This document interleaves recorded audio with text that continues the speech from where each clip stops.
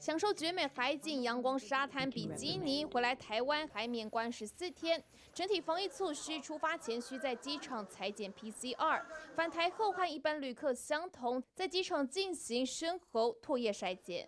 接下来就进行好五天的加强版的自主管理，加上九天的自主管理。那五天的加强版的哈自主管理，主要就是啊可以在哈可以在防疫旅馆。啊住，那当然也可以在家里，但是要求要一人一室。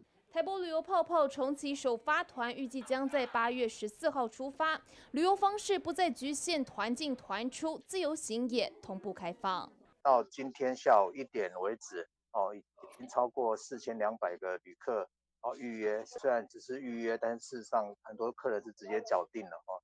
那所以呃这么多旅客来讲，要去消化掉哦，需要。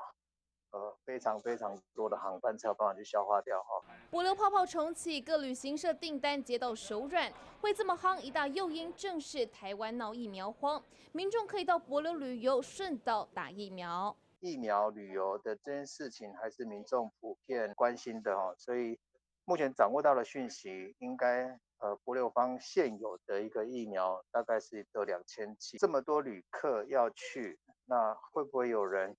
最后是没办法施打到这部分，我们现在跟博流方正在呃密集的在接触当中。出国玩耍又能打到疫苗，一 game 里 go b o n d a game cycle，也难怪指挥中心才刚点头，博流旅游询问度就爆表。